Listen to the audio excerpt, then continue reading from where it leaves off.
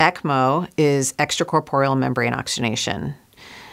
It's been really critical to our last two pandemics, including COVID, and has provided support for patients suffering from very advanced lung or heart lung failure. ECMO can provide the lungs or the heart and lungs time to rest while patients are recovering in the intensive care unit.